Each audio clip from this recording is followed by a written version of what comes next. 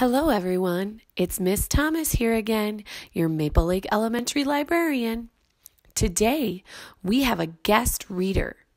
It's Celeste Dahlstrom, and she is reading Aliens Love Underpants.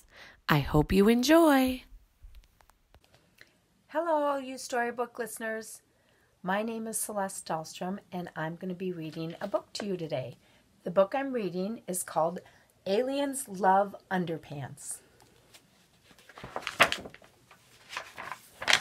Aliens love underpants.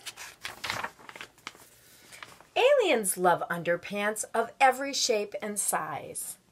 But there are no underpants in space, so here's a big surprise. When aliens fly down to Earth, they don't come to meet you, they simply want your underpants. I'll bet you never knew.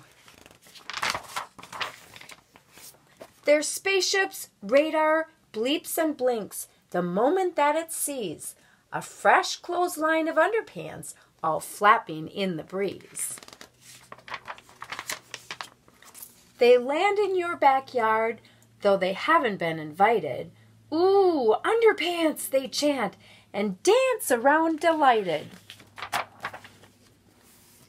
They like them red, they like them green, or orange like wild pumas. But best of all, they love the sight of Granny's spotted bloomers.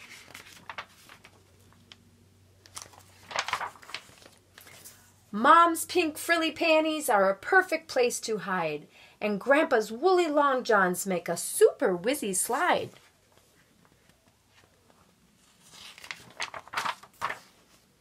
In daring competitions held up by just one pin, they dive into the long johns to see how many can squeeze in.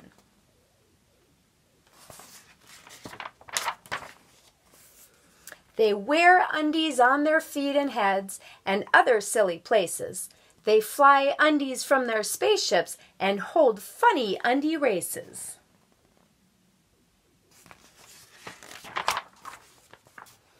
As they go zinging through the air, it really is pantstastic.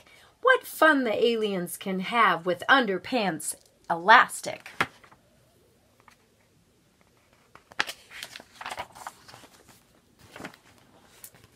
It's not your neighbor's naughty dog or his owner's funny game. When underpants go missing, the aliens are to blame.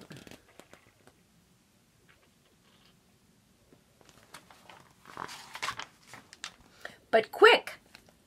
Mom's coming out to fetch the laundry in at last. We off the aliens all zoom. They're used to leaving fast.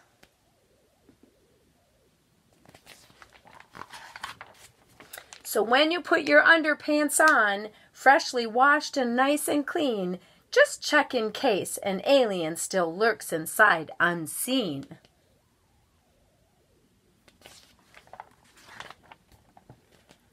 The end. I hope you enjoyed the book today. Have a great day. See you again.